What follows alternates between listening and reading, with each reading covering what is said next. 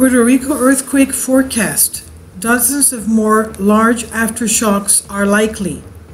Puerto Rico has been under a state of emergency since January 6, 2020. This is uh, from the conversation on the Minds Unleashed.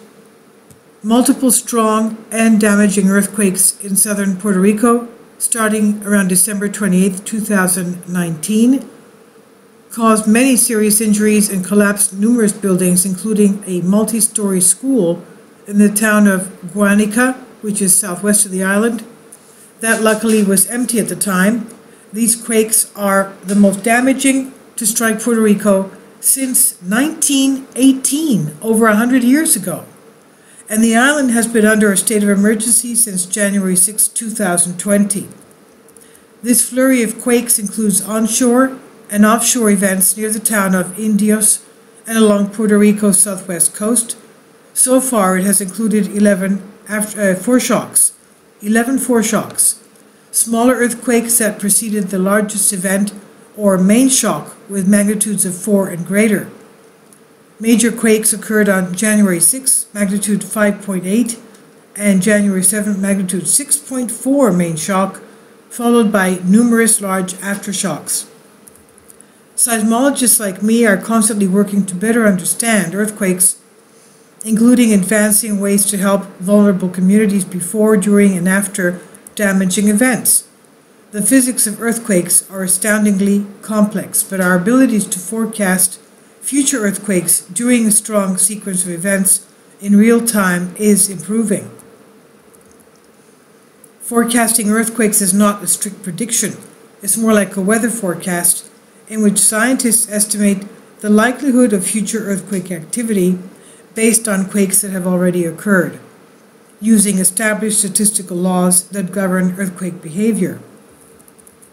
An undersea fault zone. Puerto Rico spans a complex boundary between the Caribbean and North American tectonic plates, which are sliding past each other in this region at a relative speed of about 2 centimeters a year. Over geologic time, this motion has created uh, the Muertos Trough, a 15,000 foot depression in the seafloor south of the island. This plate boundary is riddled with intercontinental fault structures. The present activity is occurring on and near at least three interrelated large faults. Faults are pre existing weak zones between stronger rocks in response to surprisingly small force stress changes, they rapidly slip to produce earthquakes. The hair trigger nature of fault slips means that predicting the precise timing, location, and size of individual quakes is extremely challenging, if not impossible. During an earthquake sequence, changing stresses act on nearby fault systems as stress is gradually redistributed within the Earth. This process generates thousands of protracted aftershocks. Many earthquake sequences simply start with the main shock, but it's not especially rare for scientists to recognize after the fact that foreshocks were occurring before the main event. Improvements in earthquake instrumentation and analysis are helping scientists detect foreshocks more often, although we have not yet figured out how to recognize them in real time. Will one shock lead to another? Researchers have known for over a century that the rate of earthquakes following a main shock declines in a way that we can characterize uh, statistically. There is also a well established relationship between the magnitude of earthquakes and their relative number during an earthquake sequence. In most seismically active regions, for a decrease of one magnitude unit, say from 4.0 to 3.0, people can expect to experience about 10 times as threes compared to fours in any given time period. Using such statistical relationships allows us to forecast the probability and sizes of future earthquakes while an earthquake sequence is underway. Put another way, if we are experiencing an aftershock sequence, we can project the future rate of earthquakes and what magnitudes we expect those quakes to have.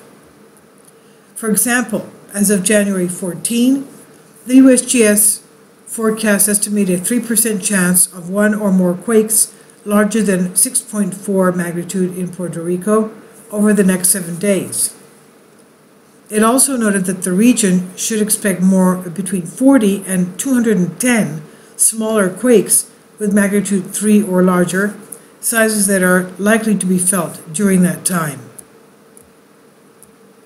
We extended statistical modeling of earthquake sequences that include foreshock and aftershock probabilities.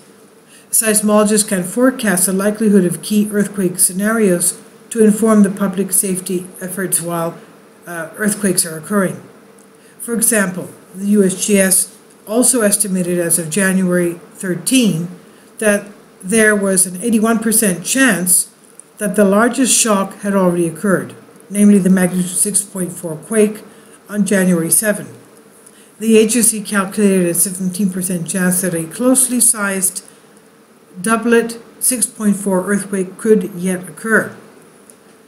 Recognizing in real time when a set of earthquakes is likely to be a foreshock sequence is challenging an active area of earthquake forecasting research. Progress in the effective forecasting and communication of ongoing earthquake hazards could mean the difference between life and death for people in the Eastern Caribbean and other seismically active areas on an increasingly urbanized planet. It's by Richard Aster, the, comment, the conversation on Creative Commons. Because uh, Creative Commons, and this is on the Mind Unleashed.